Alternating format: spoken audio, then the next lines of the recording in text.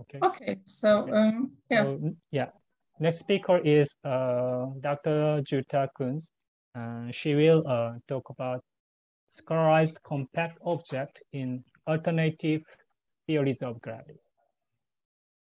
Yes, uh, thank you very much uh, for the invitation uh, to this conference. And uh, I'm, I'm very happy uh, to be here. I was also very happy to listen to the talk of uh, Saryen, our former student. And in this talk, I would like to speak about some um, yeah, various types, let's say, of compact objects in a certain set of uh, alternative theories of gravity. And um, here I will first focus on Einstein's scalar Gauss-Bonnet theories. And uh, there we have really a, very interesting number of very different types of uh, objects, uh, namely black holes, wormholes, and particle-like uh, exotic compact objects, which can also be ultra compact objects. And then uh, I will go over to uh, a theory that is uh, uh better motivated from cosmology. Uh, uh, there, so far, we have only constructed black holes, but I'm pretty sure the whole set of other solutions should also be there. So um, let me start. Um, we we uh, have many reasons, really profound reasons to go beyond uh, general relativity. Of course, we always want uh, our solar system physics to be uh, very well described by general relativity. So we want this type of um, yeah, limit. But uh, now going beyond general relativity, we would like to have some um, guides. And uh, we, we currently don't know what the real theory should be. The, the theory of uh, quantum gravity, but we can imagine that there might be some low energy effective theory. And uh, currently we are basically studying such types of low energy effective theories. And one, uh, I would say, well motivated such theory uh, is when we take general relativity and uh, we add a scalar field that is coupled to the Gauss-Bonnet higher curvature term. So here you see the Gauss-Bonnet term. Uh, so we are quadratic in curvature. And uh, this type of theory arises from string theory uh, in the low energy limit. However, in that case, it comes with a certain coupling function uh, f of phi and the scalar field phi, this is a dilaton. Now these uh, theories are very nice because they lead to second order field equations and there are no ghosts, no also classically instability. So they are well behaved and yeah, interesting to study and they belong to this type of Horndeski theories that were studied long ago. Now, when you look at the field equations, um, we get a set of, of course, now generalized uh, Einstein equations. And I've uh, written it here in the usual way that we have the Einstein tensor on the one side, and then we have the matter. So let's say matter, the, the scalar field, it can be some gravitational scalar field, of course, on the other side. But also when you write it this way, we see we get uh, now from this Gauss-Bonnet term, uh, here, uh, another piece uh, on the right-hand side. And this is the most interesting piece for the talk and for the types of solutions that exist. Namely, uh, this, let's call it, we now have some in total um, effective uh, energy, uh, momentum, stress energy tensor. and this effective stress energy tensor this uh, can give rise to negative energy densities. And uh, so we would violate uh, the energy conditions just um, gravitationally from this piece here. Yeah, the, the scalar field is fine. So um, this allows us to obtain wormholes uh, then just because um, we, we have this negative contributions from gravity itself, from this generalized gravity. Now, for the main part of the talk, we are going to look at the scalar equation. So here we have the scalar equation, and uh, you see um, we, we get something like a Klein-Gordon equation. However, here we have this contribution from uh, the Gauss-Bonnet piece and uh, the coupling function, uh, uh, its derivative enters. And now what type of solutions we get and what their properties are depends very strongly on the choice of coupling functions on this f of phi. So when we go to string theory, so we take the dilatonic coupling, then our general relativistic black hole solutions, they do not remain solutions. And we only find solutions that have a scalar field for black holes. So we have only hairy black holes. On the other hand, if um, we choose uh, this coupling function differently, then we can have uh, the solutions of general relativity also as solutions. So they are retained as solutions. We retain the Schwarzschild and the Kerr black hole, but we get in addition uh, new types of uh, black holes, uh, namely those that also carry uh, a scalar field. So, and we say they are spontaneously scalarized. And because this scalarization arises because of this uh, Gauss-Bonnet piece, which is a curvature piece, we say it's uh, curvature-induced uh, spontaneous scalarization. So uh, these are the two types of black holes um, that we would have. And I will now start with the black holes in the first uh, theory. And uh, these have been studied long ago. Uh, and uh, yeah, we see in the 90s, uh, Jutta Kanti and collaborators found the first ones. And here we have this dilatonic coupling function. Now, when one takes such a dilatonic coupling functions, one only gets scalarized black holes, no Schwarzschild black holes. And here we see the horizon radius, uh, uh, and we have scaled it by the coupling constant. And here we have the mass and scaled yeah. it by the coupling constant. And uh, this dotted line is the Schwarzschild black hole. And now the scalarized black holes, they are, and it's the static ones, of course, they are here given. And you see, when we go to very large masses and uh, very large horizons, then uh, we kind of approach Schwarzschild. But uh, the interesting thing is happening down here. here, the solutions stop. So we don't have any solutions anymore below a certain mass and below a certain horizon radius. And the reason is just a theoretical one. When, uh, when one looks at the horizon expansion, then one finds a square root. And it just so happened that the radicand vanishes right here. So we don't get a, a real scalar field. The, the, scalar field would be imaginary. So uh, we don't get a real solution anymore. So we, we get a theoretical uh, lower bound, let's say, on the mass for a given coupling constant. Then uh, here you see very nicely um, that uh, the energy density of these uh, hairy black holes can be negative. You see here this curve. This is uh, uh, the time-time component of this stress energy tensor. And um, so if this is positive, then the energy density is negative. And uh, this is kind of the reason we uh, violate uh, the no-hair theorem, that it's also what's going to happen later with this other type of solutions. Um, one can rotate. So here, this would be the Kerr solution. And here we would have um, the Schwarzschild solution in the corner. Uh, it's the area that we plot versus um, the angular momentum. So these are the static black holes. And here you see the area.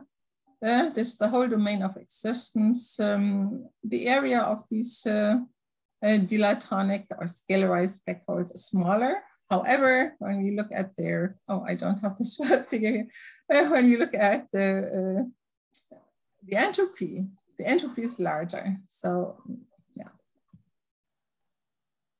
We can, of course, study stability and we should look, uh, let's say, linear stability.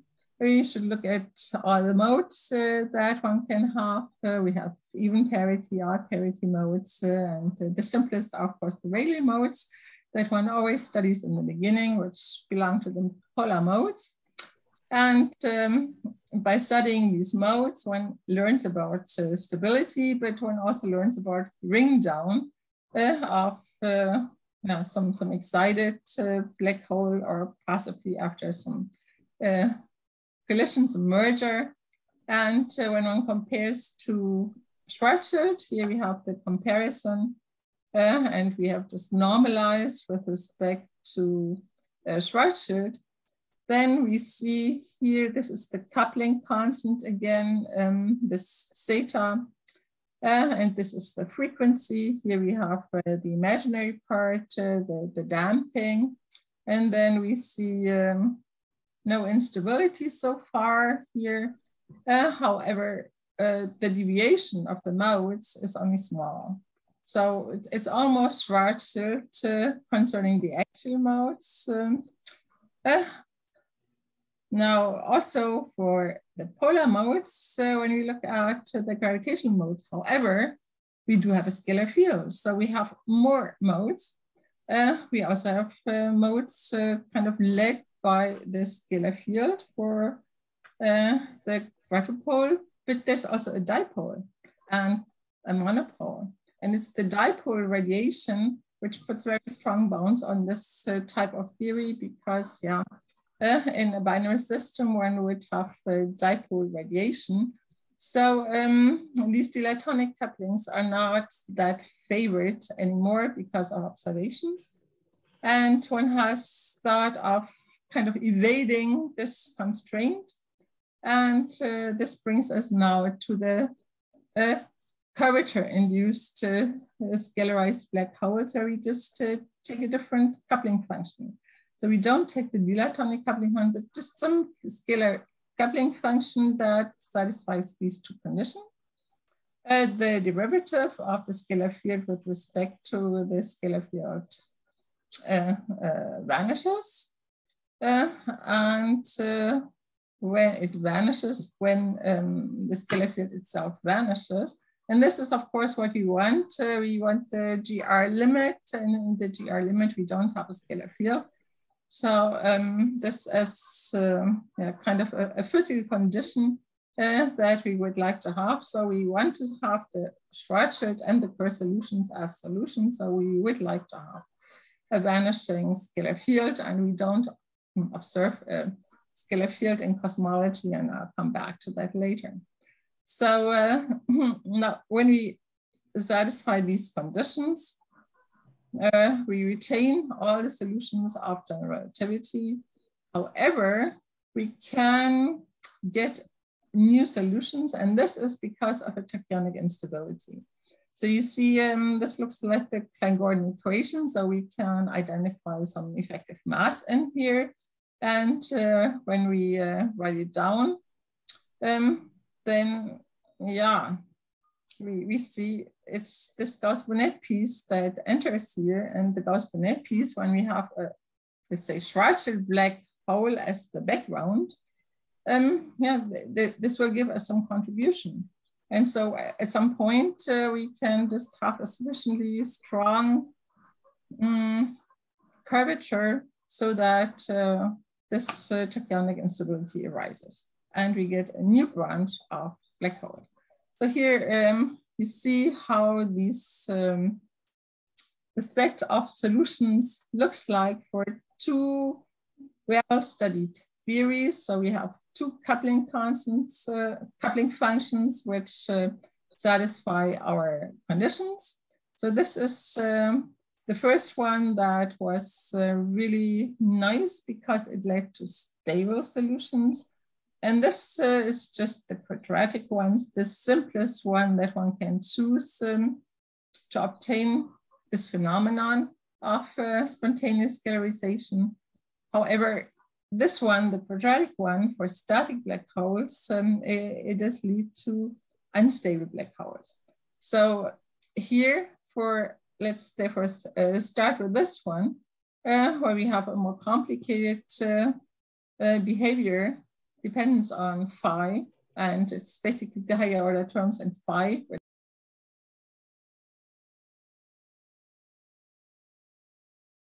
Uh, that we do have uh, stable uh, black holes.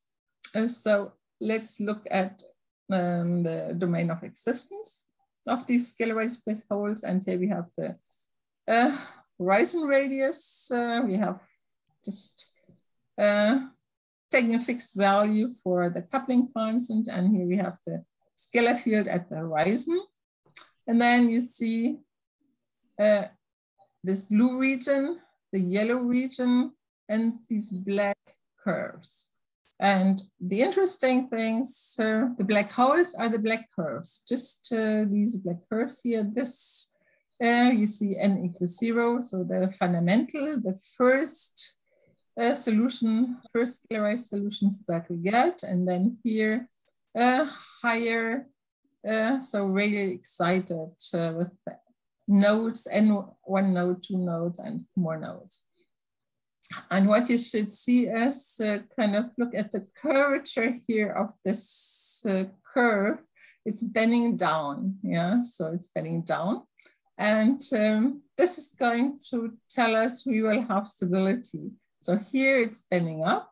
So really once uh, will be uh, unstable, but yeah, this is what one expects, of course. Uh, uh, they're excited. But here we should have something stable.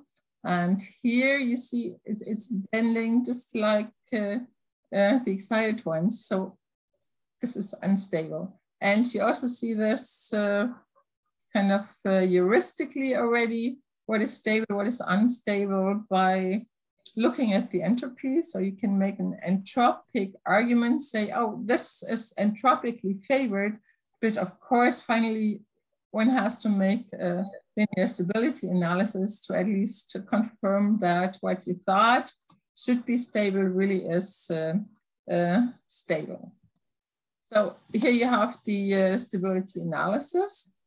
And uh, now the, this plot is in terms not of horizon quantities, but in terms of global quantities. So we have the, the scalar charge here and uh, the mass. And no scalar charge, this is Schwarzschild, of course. And uh, here, uh, at a certain value of the mass for fixed coupling constant, we see a branch of scalarized uh, solutions arises and the theory is symmetric in phi. So of course we also have a on here. Um, this means now Schwarzschild is unstable. Schwarzschild has its first unstable mode. Right here we have zero mode and then unstable mode. And this is what you see here. This is the first unstable mode of Schwarzschild. So Schwarzschild is no longer stable, but we have a stable scalarized black hole and it's stable up to this point here. Right at this point, uh, when we look at our mode equations, um, we run into a problem, namely um, we lose hyperbolicity of the equations and our formalism breaks down. So, but up to here, there's no unstable mode and uh, yeah, we have uh, seen this by making the full stability analysis uh, linearly. And for the, the other, uh, the excited, the really excited ones, you see every time there's a new radial excitation, the Schwarzschild has a new unstable mode. And uh, the, the unstable modes uh, of these really excited uh, black holes, they match very nicely those of uh, Schwarzschild when they start. So this just uh, uh, yeah, showing some polar modes, but and again we lose. Uh, I mean, for the these higher um, uh, uh, yeah, uh, stability analysis calculations, we have this hyperbolicity that we lose. Um, but okay, um, it, it, doesn't change much. It's, it's very close to uh, the one of the radial uh, modes that we studied first. So we know uh, for this theory, we have some, a set of stable uh, solutions on the fundamental branch. But when we do the same thing for just the square theory, no, um, everything is unstable in the static case. Now let's look at rotation. Rotation um, gives uh, some interesting new perspectives here. Uh, here, this A is the usual A of the Kerr solution. So here we have the angular momentum entering and you see in the Gauss-Bonnet uh, piece, now this angular momentum enters and you see it enters with different signs. Uh, so when we retain the same sign for the coupling constant, then you see these minus signs occur. So we can imagine, okay, uh, this spin that we put with the press, scalarization, but it could also happen, and this was suggested by Dima and collaborators, it could also happen that uh, uh, the, the, minus uh, is now the most important if there is sufficiently strong rotation. And in such a case, we uh, say there is spin-induced uh, scalarization, and this really happens. Um, these are just some examples. You see, um, these are now for the positive sign. So down here we have this branch, uh, this long branch up to here, somewhere we know, um, okay, it's stable of the fundamental scalarized black holes. And now we can add angular momentum, but you see, as we increase angular momentum, uh, the domain gets smaller. And here you see the same thing. It's the area now that is shown versus uh, the angular momentum. As we increase angular momentum, um, the, uh, yeah, the domain gets smaller but the area can also, the area of the horizon can also um, increase, uh, decrease uh, a lot. Uh, so um, this might be uh, very interesting. And uh, Cunha and collaborators, the Portuguese group, has studied the shadow uh, and the effects for the shadow in that case and compared to M87. Um, this is now the other case, the other sign. And if we put the other sign, uh, yeah, you see, we have to go beyond a minimal value of the angular momentum. This is now again scaled uh, with a uh, with the mass squared. So um, this angular momentum goes from zero to one for Kerr. Uh, so we have to go above point, 0.5 in order to get this uh, scalarization. But we do get it, and this is uh, again from the Portuguese group they have used uh, this coupling where we know we do have uh, stable static black holes, so um, it's no surprise. Uh, we also have entropically preferred um, uh, rotating black holes. However, we used uh, the other coupling where we know for the phi square, there are no stable scalarized black holes. They are all unstable when we have the positive uh, coupling. Now, when we go to the negative coupling, interestingly, we also get entropically uh, favored um, rotating black holes. So let me now come to some of the other objects. And here we have um, wormholes. And uh, then we'll look at uh, the the particle-like solution. So wormholes are kind of motivated they could exist because we can violate the energy conditions. And uh, so we have a throat, at least. Uh, no singularity. We would like to have traversable wormholes. And uh, actually we have first done our studies uh, with ordinary wormhole coordinates, I would say, and then in order to understand a particular point, we have switched to uh, isotropic uh, coordinates. So you see here this H always contains a constant in front of this uh, angular piece, which then tells us, yeah, we cannot kind of shrink uh, to zero uh, our uh, circumference. Now this is uh, then what one finds um, instead of a single line, we find uh, now kind of a, a two parameter space. So the domain of existence, uh, let's say for a dilatonic coupling again, would look like this. So here, these crosses are the black holes. Here on the right-hand side, we run into singularity, so we have no further solutions. And then our point was uh, these dots, these black dots. We didn't understand these black dots, what was happening here uh, in the beginning. And uh, once we uh, use different uh, coordinates, uh, yeah, coordinates are so important, as you all know, we finally understood what's happening. So right here, the throat becomes degenerate. And um, instead of having only one wormholes with a single throat, we develop an equator with a, as a throat. So it's um, a different type of wormhole that continues here. Um, now, in order to obtain the solutions and have solutions that says no singularity in the whole domain, so from plus infinity to the third to minus infinity, um, we, uh, we have to kind of uh, cut our solutions. They, they do have a, a nice throat, so this develops just uh, in these theories.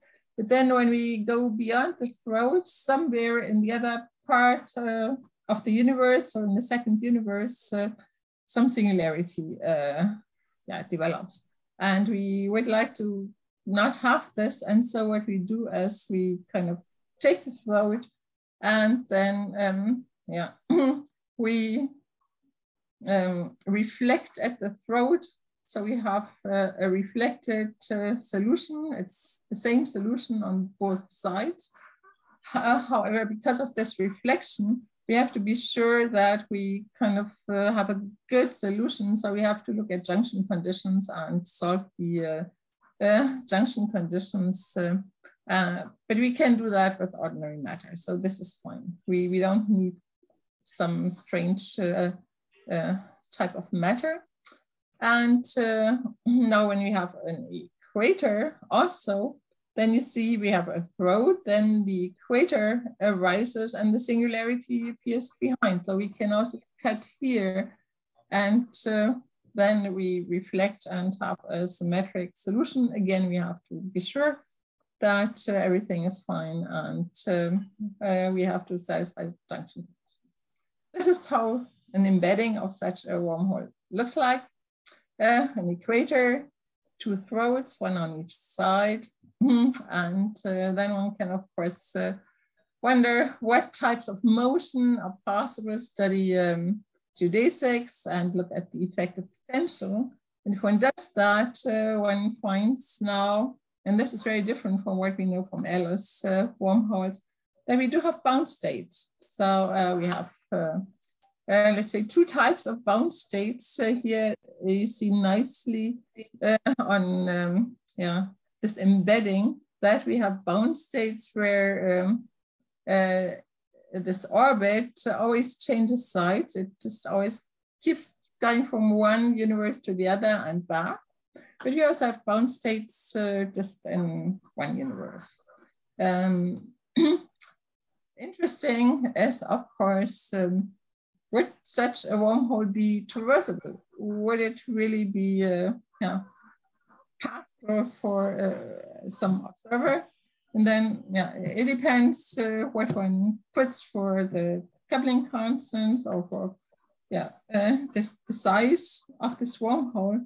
So when we just say, okay, let's take the values from string theory, we arrive at astronomical numbers uh, really for uh, the acceleration that uh, an observer would feel So 10 to the on the order 50 times uh, uh, the acceleration on Earth. This is deadly. So um, yeah, um, this is not what we would like.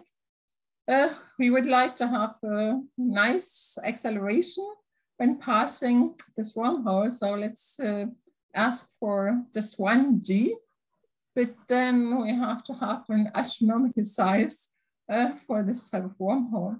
So um, it has to be on the order of light years, uh, the size of the throat. So yeah. And concerning stability, this has not yet been fully uh, established. Uh, um, there is some first works from us uh, and then some uh, more recent uh, works from uh, Kuibamba, Konoplya, uh, Zhidenko, and yeah, they, they, took the most general more general type of um, perturbations and um, but only looked at some some small space of the domain of existence. So um, we don't know yet. There, there, might be some, but possibly there are none. But in, in any case, uh, they they would be too huge for us. One can of course use all kinds of um, other coupling functions, not the dilatonic ones. One uh, then has problems. Uh, um, if one does so, no, no problems because one um, always uh, just violates by, by this uh, effective energy tensor uh, that is gravitational. Here, the null and the weak energy conditions, and one can look at how uh, the domain of existence looks like. Um, but uh, let me now come to this other interesting type uh, of uh, objects that we also have. And uh, this type of object, this is, let's say, particle-like. It's, it's a bit like what Wheeler wanted. It's not yet perfect, I would say, but it's kind of, yeah, it's a, it's a just regular uh, space-time configuration. Uh, so the metric is globally regular. The stress energy tensor is everywhere regular.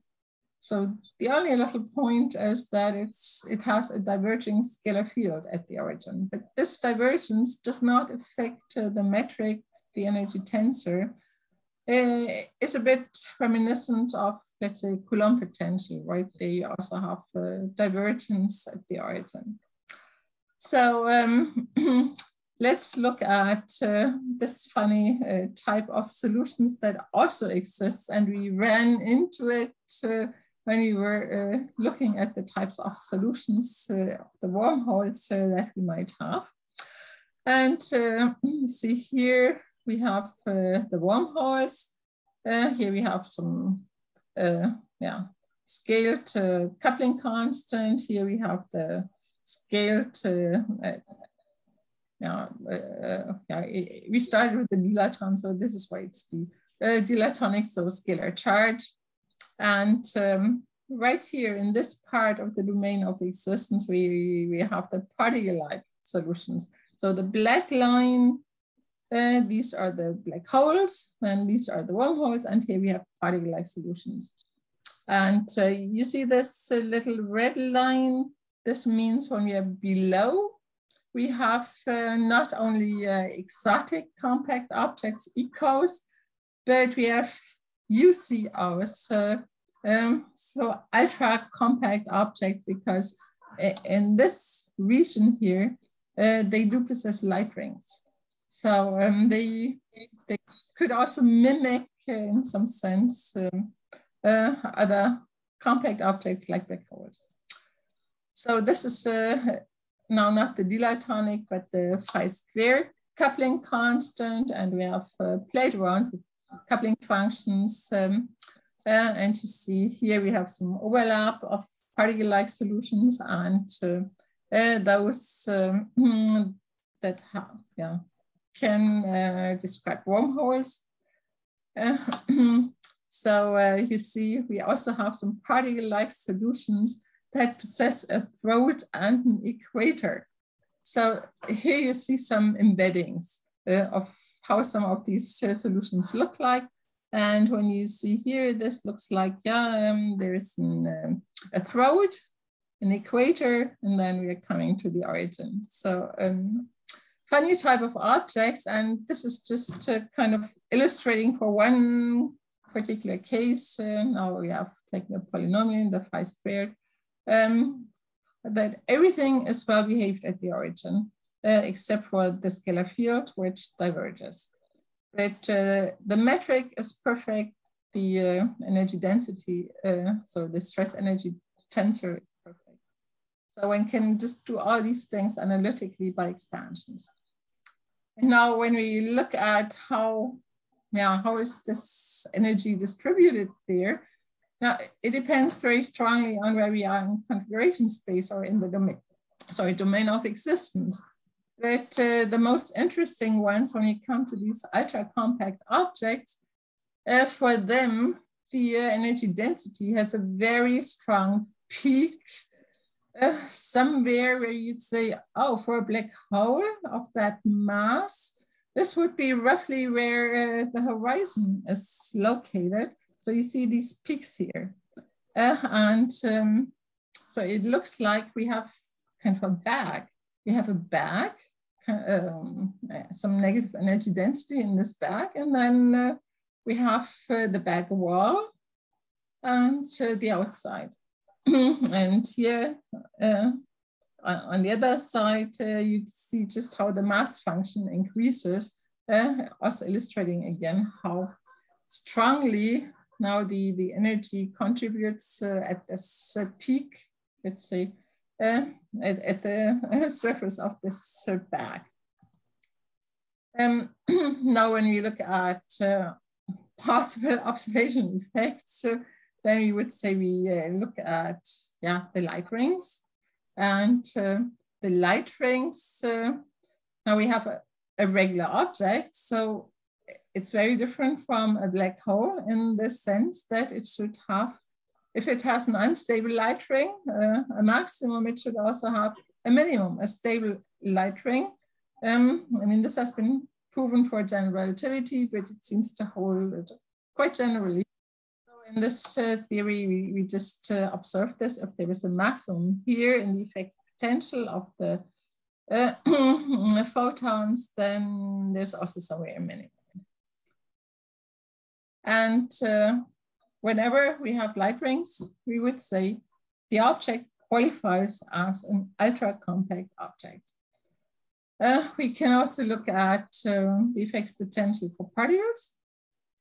And for particles, uh, then uh, we have, uh, yeah, for these ultra compact objects, also the possibility that kind of in the bag, yes, in the back, there might be some particle bound um, that might be uh, moving there.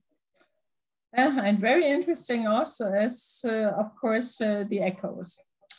Um, we have a regular object, so we expect that there should be echoes. So when we look at some, some test field, then this is really what we observe. So here um, on the right-hand side, we have the effective uh, potential for some test field to see, uh, uh, and, and, this set is just uh, for one parameter, and this is for another parameter, one type of solution, another type of solution. So let's just uh, focus at one, and when we go far away, well, at, at some point, uh, of, course, we are very much like uh, Schwarzschild, but uh, we are very much like Schwarzschild and much more uh, of the space here. So this looks all very much like Schwarzschild. Uh, only when we uh, come close to the horizon, then we deviate, of course, very much, strongly. Uh, at the horizon, a wave is just being absorbed. But now we have this regular particle type of solution. So we have this uh, uh, repulsive potential yeah, from the uh, uh momentum. So when we now have uh, uh, some some wave, something coming, then we have uh, yeah okay we have uh, this uh, reflection, but uh, reflection is only in part, and in part we continue. But then here, instead of being fully absorbed whatever passed the barrier by the black hole. This is being uh, fully reflected backwards. And so we come here and then yeah, partly transmitted, partly reflected again, and so on and so on. And, and this is how we get all these echoes. So we observe echoes. and um, now, uh, coming now to the last part of the talk, this is very new. Um, and uh, now, the, the point is that we typically for GR, we want uh, the scalar field to vanish.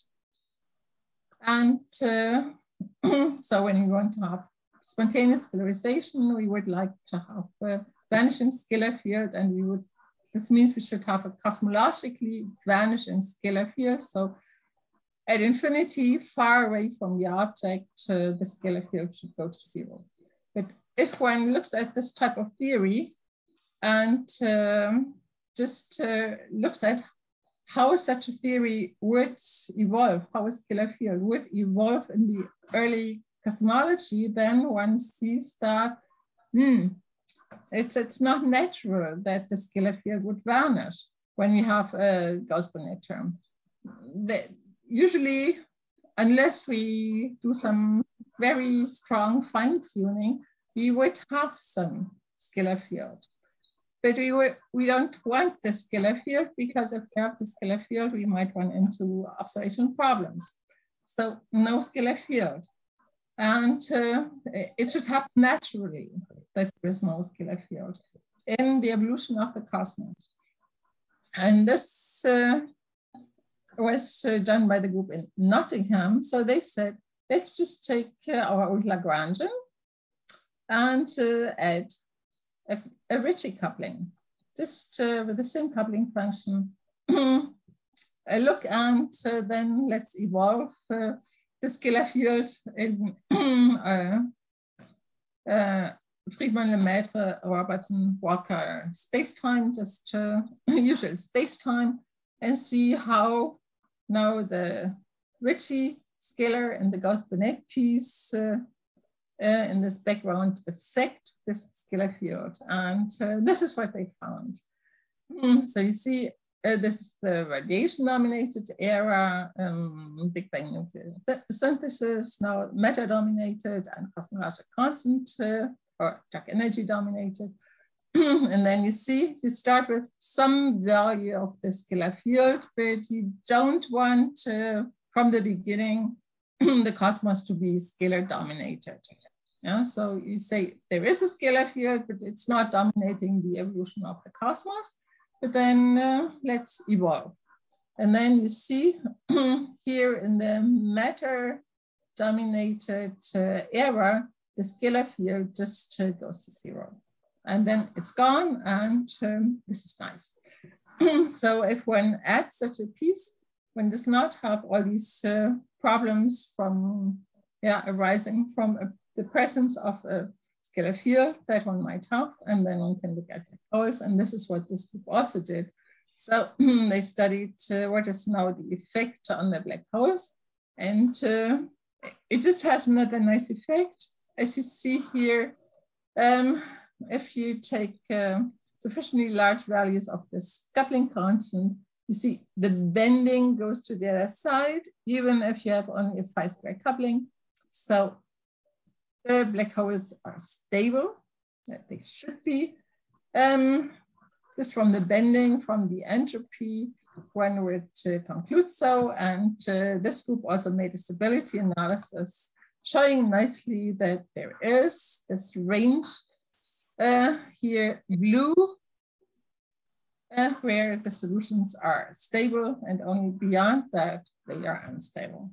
And the last thing that we did uh, now was think uh, our previous solutions um, they should also exist in this type of cosmologically motivated model, which is really nice. And so we started with the rotating black holes, and these are some preliminary results for the rotating black holes.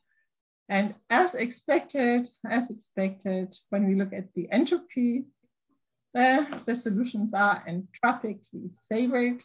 So we would say here for this large coupling constant, yeah, they probably should be stable, but of course, a linear stability analysis for rapidly rotating black holes um, in this type of theory, this is quite something. And uh, uh, we have not yet uh, ventured into this. So uh, let me now conclude.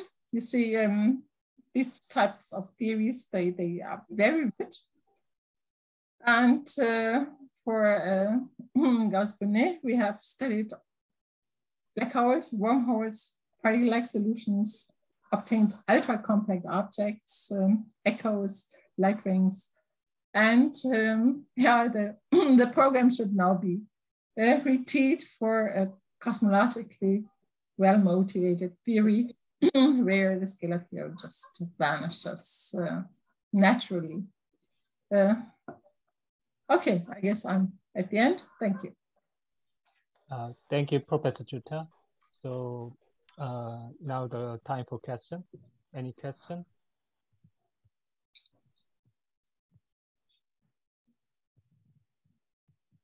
We still uh, thank yeah. you for giving an uh, interesting talk with a nice uh, introduction. So, um, uh, just so you know, the it's basically uh, related to the uh, uh theorem, and as you know, just so you know, the the Noble the theorem is, could be constructed under the, some assumptions. So uh, Bekenstein's assumptions, uh, at least three. So one is the minimal uh, coupling of the uh, gravity and the scalar, uh, just uh, Einstein's scalar theory. And second is the uh, spherical black hole. And third is the energy density should be the non-negative in everywhere. But if, when we couple the uh, curvature and the scalar field, then at least two of three assumptions are violated. As you know, the first thing is that the non-minimally coupled theory, and second one is solution has the uh, could be could have have some negative region at least locally.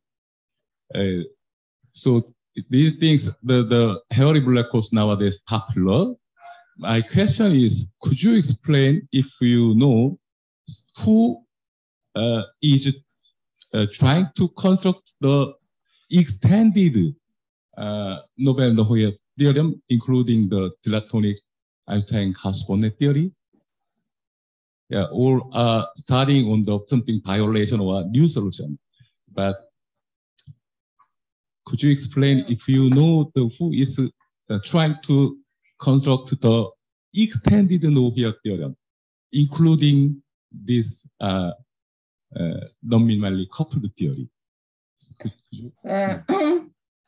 Um, I don't know but. Uh, I I don't uh, quite understand. I would like to have a, a no hair theorem be, for this type of uh, theories. I mean, the, the interesting point is just that you do have uh, the hairs so that uh, when you go to non-minimal couplings, uh, couple, for instance, as here in this uh, uh these examples, coupled to the um, uh, that you do violate the I mean, the, the no hair theorem is just not a, a theorem for this uh, type of uh, theories. So you, you violate uh, the energy conditions, and in that case, you can have um, uh, the scalar hair, you can have wormholes, you can have yeah, funny objects. I, but I don't know of anybody uh, who is trying to make some general formal um, analysis when you might have no hair theorems uh, for uh, modified generalized theories of gravity. Uh, typically, uh, what I see is that um, uh, it doesn't have to be metric theories, it can also be torsion theories uh, or um, whatever um, that people are interested in. Yeah, when, when do you get here? So when do we differ from uh, general relativity?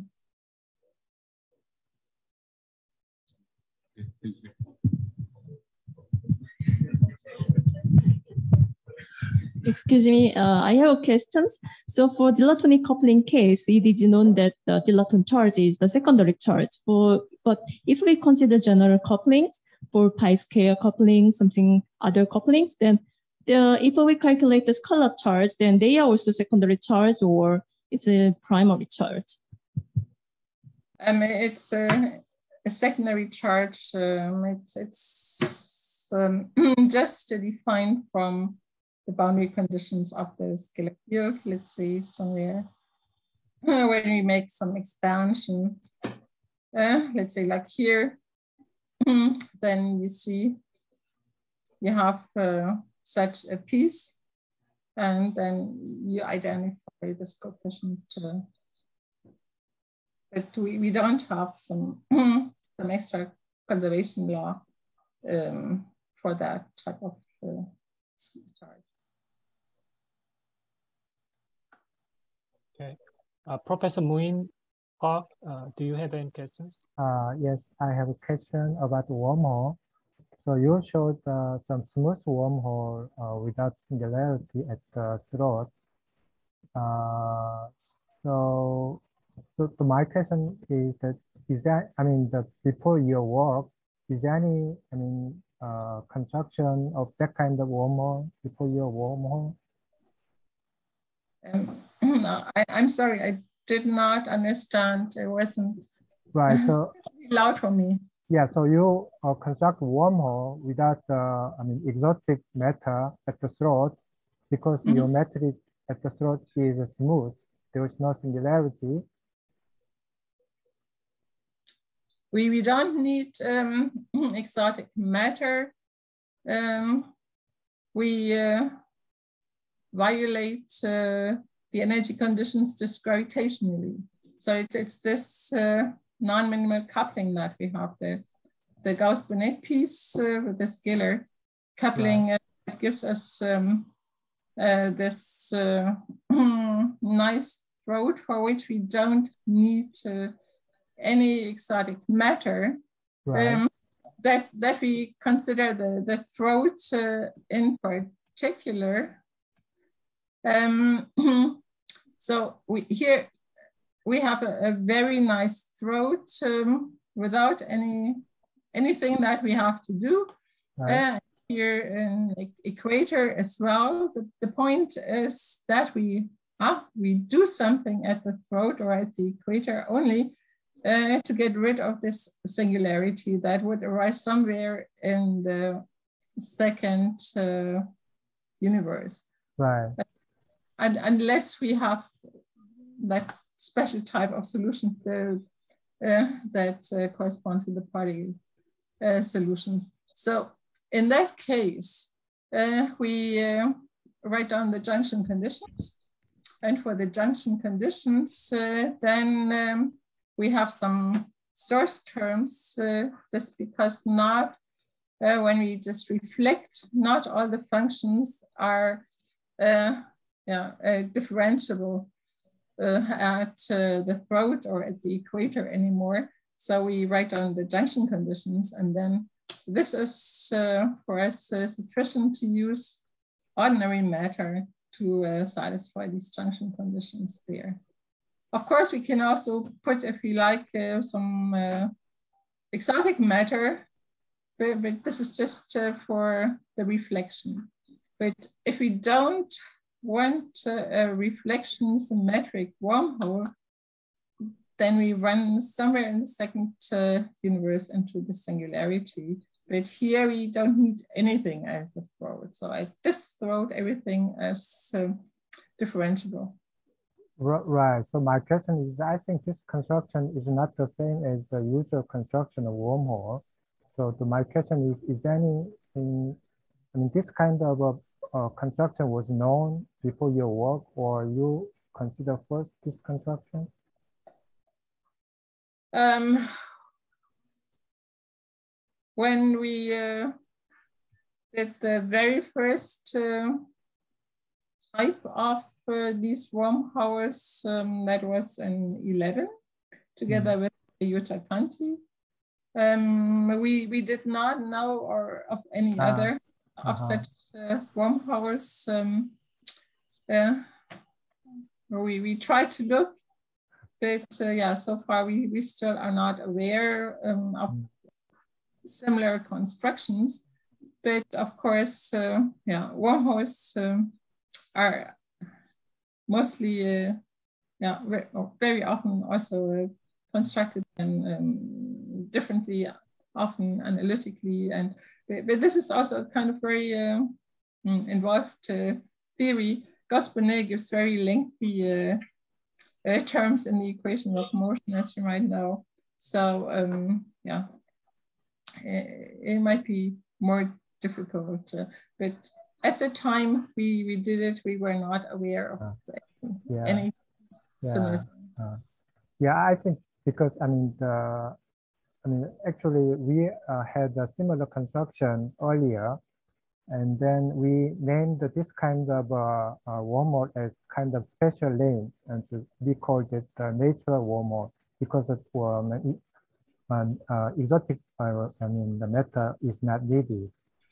So, um, okay, I see.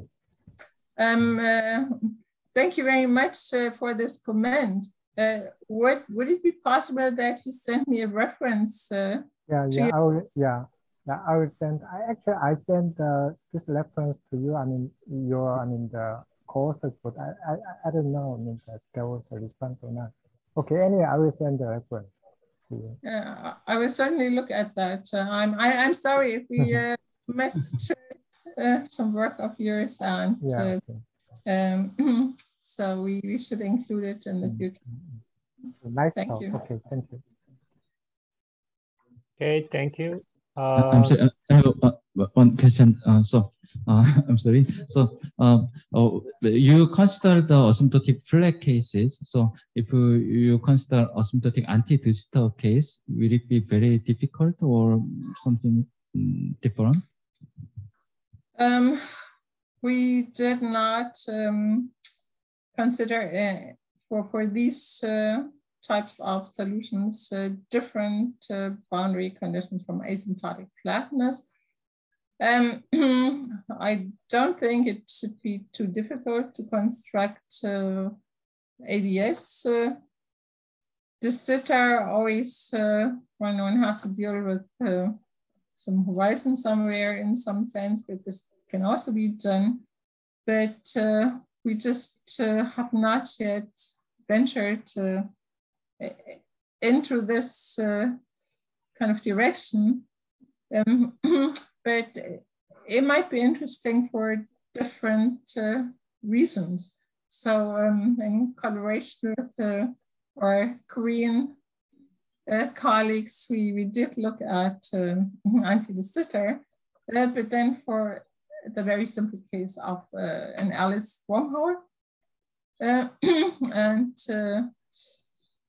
yeah, so motivated uh, from this different type of direction when, when could also um, do antithesis with those. So I, I see no general problem.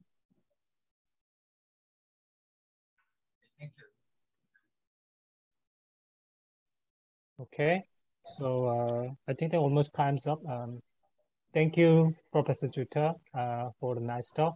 Uh, thank you, speaker. Uh, you too. yeah, thank you very much. Thank you very much for a nice talk. Okay, so the afternoon, the last session of this